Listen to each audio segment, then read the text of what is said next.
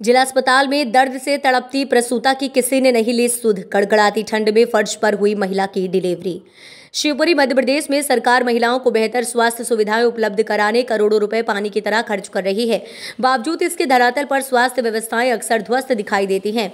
ऐसा ही एक मामला शुक्रवार की देर रात करीब डेढ़ बजे जिला अस्पताल शिवपुरी से सामने आया, जहाँ दर्द से तड़प रही एक प्रसूता को ना तो समय पर स्टेशन मिला और ना ही उपचार, जिस कारण महिला को मजबूरी में कड़कड़ाती ठंड में फर्श पर बच्चे को जन्म देना पड़ा।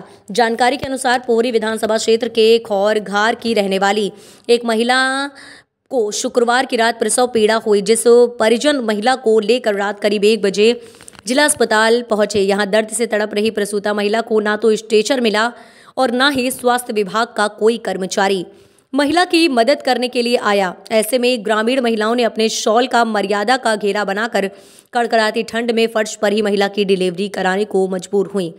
बाद में जैसे तैसे स्वास्थ्य विभाग ने प्रसूता महिला और उसकी नवजात शिशु की सुध ली, जिसके बाद उसे जिला अस्पताल के जच्चा बच्चा वार्ड में भर्ती कराया गया। वगैरह कोई था? हाँ हाँ वहाँ भीतर तो आई हम ले गए नहीं वहाँ पर जो डिलीवरी हुई थी उस समय कोई था क्या? हाँ, हॉस्पिटल का? तब नहीं है कोई भी नहीं था। तो कितनी देर बाद इनको उपचार मिला? जानी थोड़ी देर में आए जा ठंडी सी लगा लगी सुई भी आ गई। एक आध घंटे बाद में उपचार मिला। जब नर्स वगैरह सब आई इससे पहले कोई नहीं आया उनके लिए ना?